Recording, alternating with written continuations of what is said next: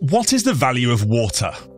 The value of water is often calculated through its contribution to the market economy. For example, as an input to crops, electricity of manufactured products. But what happens to benefits that cannot be bought or sold, like our well-being, culture, or spirituality? These are often referred to as non-market benefits. To estimate the value of non-market benefits, economists often look at people's behaviours or ask them questions about their preferences. Would you be willing to pay a higher house price to live close to a beautiful river? Or would you be willing to give it up for a new job? Non-market values of water can be hard to quantify, but they are fundamental for us as individuals and as a society. Water planners must consider market and non-market values to manage water in an equitable and sustainable manner. Written by Dr. Ana Manero and Dr. Naho Mirumachi. Scan the barcode to get the full article.